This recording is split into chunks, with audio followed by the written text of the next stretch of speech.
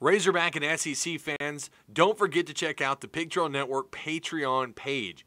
Only $4 a month, which goes towards supporting the YouTube channel. You can find the Patreon link down below any PTN video in the description box.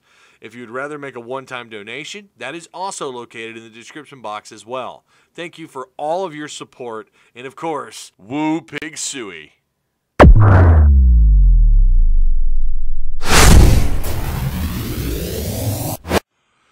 What is going on, Arkansas Razorback fans, SEC fans everywhere? Welcome. This is the Pig Trail Network. I'm its host and creator, Tyzilla83. I hope your week's going great. I hope you have a fun and safe 4th of July. So happy 4th, everybody. Remember, if you decide to drink and have a real good time, call an Uber, call a Lyft, get a ride home. Don't ever, uh, don't ever roll the dice when it comes to drinking.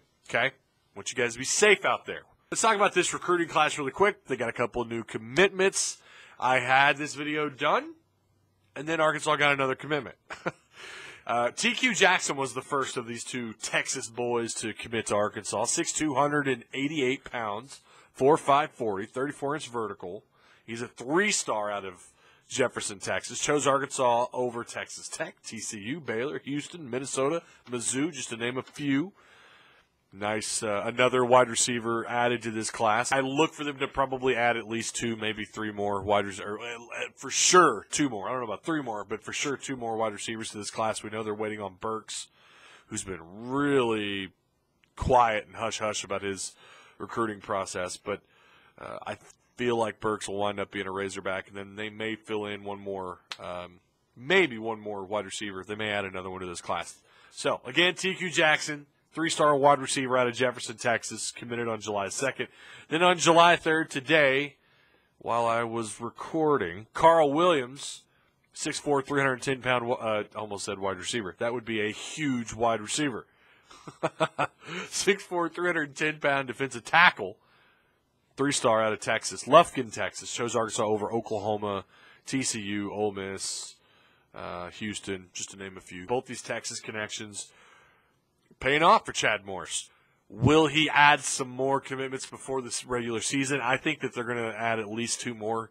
Again, this is just what I'm hearing and what I'm reading. I think they're going to at least get a couple more commitments before the 2018 season starts. That'll be nice.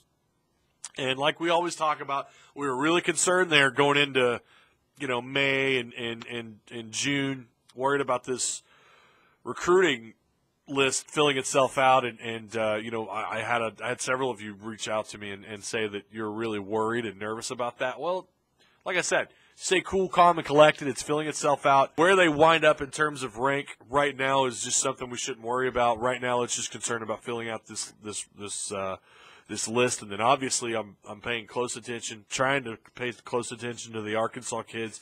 You know, Hudson Henry, Burks, Zach Williams rumor going around he could commit somewhere here really soon. A lot of people seem to think that he could be a Razorback, but again, you never know. You never know with these 17, 18 year old kids. But again, thank you so much for watching the video.